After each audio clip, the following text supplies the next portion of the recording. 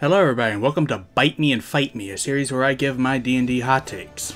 This isn't something I plan to do very often, just whenever I find something that I feel strongly enough to talk about. Today I'm going to be speaking out against all the slander that gets thrown at the monk.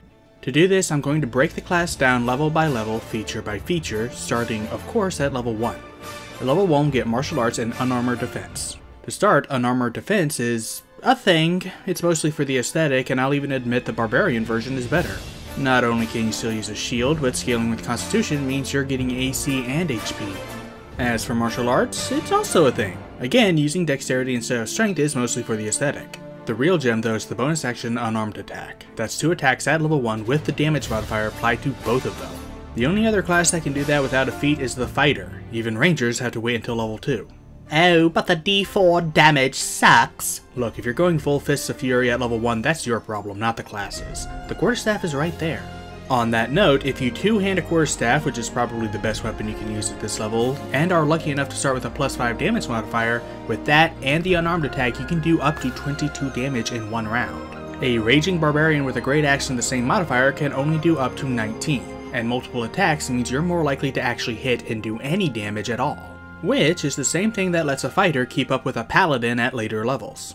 At level 2 we'll get unarmored movement and ki. Unarmored movement is just great, there's a lot you can do with the extra mobility. You can scout ahead, chase down targets, hell at later levels you can run up walls. With ki you gain a number of abilities to use it with, Flurry of Blows, Step of the Wind, and Patient Defense. To start, Flurry of Blows is just more attacks. 3 attacks in a turn, 3 whole levels before any other class can pull that off. Oh, but your ki is so limited, right? We'll talk about that later. Next is Patient Defense, which lets you take the dodge action as a bonus action. Now, I've heard people say this should be free. Those people are crazy. I've played a cleric with spiritual weapon and spirit guardian, so I know how nuts it can get when a character can just turtle up every turn while still being able to do damage. Being able to dodge and make attacks is not that different. We're talking disadvantage on attacks against you and advantage on dexterity saving throws. By comparison, the spell Blur takes a second level slot, concentration, and doesn't even include advantage on the saving throws. Why should this be free? Now for Step of the Wind. This lets you either dash or disengage as a bonus action. Again, I've heard people say this should be free, specifically because rogues can do it for free too. Speaking on the dash, a rogue will never be as fast as a monk. At level 2, your movement speed is 40, meaning after double dashing, you'd get 120, and that's not even considering later levels. I personally feel that kind of speed is nuts and should cost something, whether it's a class or racial feature, a feat, or a spell slot for haste. And anything extra you can apply to a rogue, you can also apply to a monk. As for the disengage, yeah, no, that one really should be free. We also get dedicated weapon, courtesy of Tasha's. This one might seem useless at first unless you're multiclassing, but if you play an elf, you now have longswords. And if you play a dwarf, you get battle axes and warhammers. Or play a hobgoblin and take your pick. Or a human, get weapon master. At level 3 we'll get deflecting missiles, which is just fun. The best part is the definition of ranged weapon attack is vague enough that you can even deflect things like cannonballs or ballista bolts. If you watch Dungeon Dudes as much as I do, then you know this because Kelly brings up the time he did just that every chance he gets. Honestly, so would I. We also get our monastic tradition, which is the biggest source of contention with this class. While all of the subclasses are fun and very flavorful, even I have to admit that most of them just aren't that good? At least not in a way that lets them stand out among the other classes and subclasses. Thankfully, it's specifically the base class that I'm talking about today, so we can ignore the subclasses. Except with Ki Fueled Attack, also from Tasha's. You're mostly going to use this depending on your subclass, but it's a way to keep making attacks. Level 4 will get Slow Fall, which is always useful, and Quickened Healing from Tasha's. Oh, but that uses ki points. Yeah, and every other form of healing also uses a resource. At level 5 we'll get extra attack, and our martial arts die is now a d6. That's 3 free attacks per turn with a quarterstaff and full damage modifiers for 2d8 plus 1d6 plus 15, maxing out at 37. By comparison, a rogue at this level with two short swords and max modifiers will do 5d6 plus 5, maxing out at 35. A raging barbarian could reach 36. Oh, and we can still add Flurry of Blows for another hit. We also get Stunning Strike, which is arguably the monk's strongest feature. Of course, people have made arguments against it. To start, some people say that it should only cost a ki point if it succeeds. Hold Person still costs a spell slot even if it fails, why should this be free? Another thing is the idea that your monk DC would be too low to be effective, because wisdom would be your third score behind dexterity and constitution. These people are crazy. Wisdom isn't just your monk DC, it's your AC. It should not be your third score, it should at least be your second. Honestly, I personally feel Constitution is overrated. Oh, you need HP? Take the Tough Feat. Need better Constitution saves? Resilient. Better concentration checks? Warcaster. If your class or your specific build requires two scores to function, those scores need to be first and second. If you only need one, then you can make Constitution second. One more thing people bring up is how quickly you can burn through ki points with this. And yes, you can flurry of blows and try to stunning strike on each hit and burn through all of your ki in one turn at this level, but then that's kind of on you, isn't it? FYI, we also get focused aim from Tasha's, just a fun little feature. At level 6, we'll get Ki empowered strikes for a free, built-in source of magical melee damage, which is especially great because apparently people think that there aren't any magical weapons for monks. Like, seriously guys? Even ignoring plus one and up weapons, you do realize that most magical swords have a short sword variant, right? Seriously, give the monk the flame tongue, you're probably already giving the fighter a Vorpal sword. There's actually something I kind of want to bring up real quick because this is something that came up in conversation for me recently.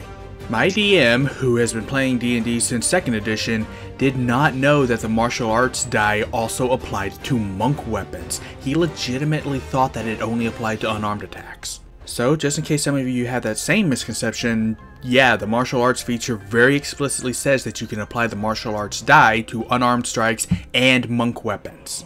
So yeah, give your monk player some goddamn magical weapons, and people playing monks, don't just use fists! At level 7 will get evasion, which is just great, and stillness of mind. Fear and charm effects are everywhere in 5e, so being able to just turn that shit off is a godsend.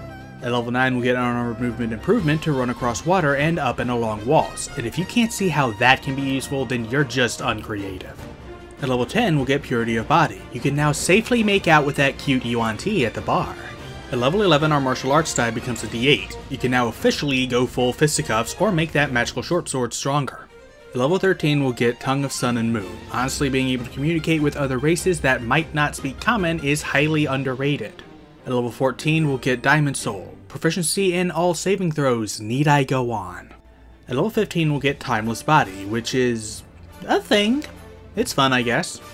At level 17, our martial arts die becomes a d10, and at level 18, we'll get Empty Body. The invisibility is fine, but astral projection is where the real fun is.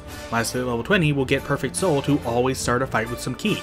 Speaking of ki, the one thing people bring up most as a detriment to the monk is the fact that you have such a limited supply of it and everything uses it, both from the base class and the subclasses. It's also really easy to burn through your ki points in just a couple of rounds in combat. Here's the thing though, this is the exact same problem that every single spellcaster has a limited resource that you have to manage responsibly or risk running out when you need it most. And yet, most players who play spellcasters understand that their spell slots are limited and should be used sparingly, especially at early levels. So why do people who play Monk act like someone has a gun to their head forcing them to spend ki points as soon as possible? When you get right down to it, a monk is just a physical spellcaster that primarily casts Punch. As such, you should spend your ki points accordingly, and by that I mean responsibly. Play your monk the way you'd play a spellcaster. Don't just blow your big boy spells on every random goblin or kobold, use your cantrips. Or in this case, your regular attacks. Save your resources for when something meteor comes around that needs it. And if you're at the end of a dungeon or feel like this might be the last combat of the day, go nuts. Who cares if you run out if you're about to get it all back anyway? Of course, even if you ignore all of that and spend ki points like a pay-to-win player spends their parents' money, you still have one advantage over most spellcasters. Your specialized resource comes back on a short rest. But Nephilim, my DM doesn't do short rests because they feel it makes the game too easy. Well, that's their fault, not the classes, now isn't it? But Nephilim, what if we're in a sprawling dungeon, monsters around every corner, and no time for a short rest? Well, then the rest of the party is probably suffering just as much as you are. Really, a monk is just like a warlock. You're only as strong as your DM's willingness to give short rests. Except you have a lot more leeway given that you have more ki at level 5 than a warlock will ever have spell slots. But how does the monk hold up in terms of damage? Quite well, actually. With a capped modifier in just the base 3 attacks, a level 20 monk can do 3d10 plus 15 damage to a maximum of 45. And they can still add flurry of blows to reach 60. A Raging Barbarian with a Great Axe can do 2d12 plus 18, reaching 42. Meanwhile, a Rogue with two short swords can do 12d6 plus 5, reaching 77. And yes, that is more damage. I'm not saying the Monk outperforms the Rogue in that department. But all that damage means nothing if you miss both attacks. If the Monk misses their first two attacks, they've still got two more chances. Just like the Fighter. Honestly, I feel like I could go on and on about why I feel the Monk is such a strong base class, but I'll try to sum it up multiple attacks right from the start, consistent damage that automatically scales and even becomes magical without DM handouts, and the best battlefield mobility in the entire game. No, the monk is never going to be your main frontline tank or your main DPS. Not unless there's something seriously wrong with your party comp. But they are an amazing martial supporter and skirmisher able to be basically anywhere on the battlefield that they need to be at a moment's notice. In a game where people only seem to care about how big your numbers can get, that is a sorely underrated ability.